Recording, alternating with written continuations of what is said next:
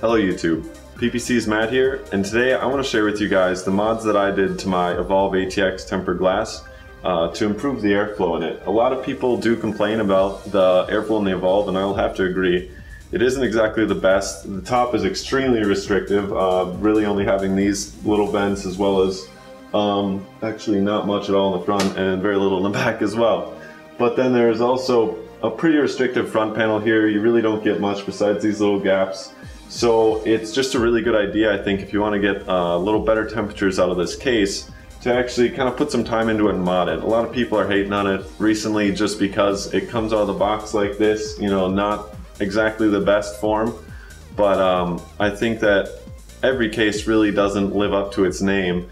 Everything needs a little bit of work. So I'm here today to show you guys how simple it really is, and this is actually a pretty cheap mod as well. Uh, these are just Primochill hex grills that I got off of performancepcs.com, of course. I'll leave a link in the description below. Uh, it's where you can find all those. We have tons of different colors.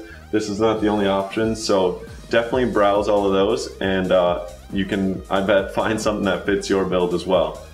But other than that, all I used was a coping saw to cut out kind of the holes in the middle here and then I just drilled out some holes to bolt it on and I used some M4 bolts and nuts and there you have it. I mean, it's pretty simple stuff. I'm just gonna roll a time lapse for you guys so you can see the process that I took and I'll see you soon.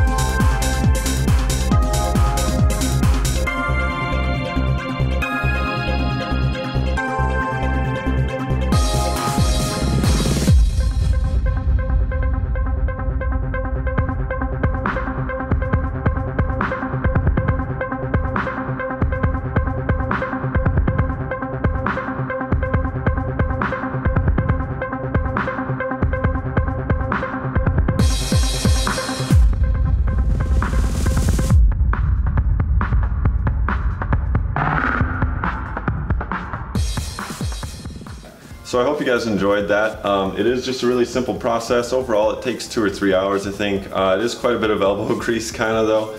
You do have to want to kind of put the work into it, but it is really inexpensive and extremely effective in my opinion. The airflow is definitely improved in my case now that I've opened it up significantly more.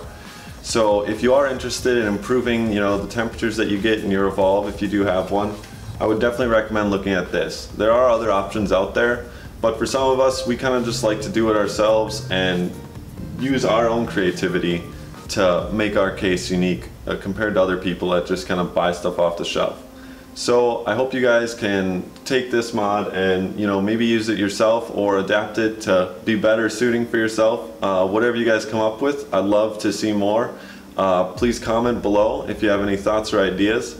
If you like this video, definitely leave a like. Um, if you want to see more, you can always subscribe. There's going to be more coming. Uh, this weekend I actually plan on changing out my coolant. So you guys are going to see that. I got Mayhem's Pastel Light and Dark Gray coming up, so you guys can see that. This is some new stuff from Mayhem's. So you might be interested in seeing that, as well as how to flush your system. Um, I'll also be having a build log up soon of this whole build as well. So there's just lots more coming, and I hope you all stay tuned for it.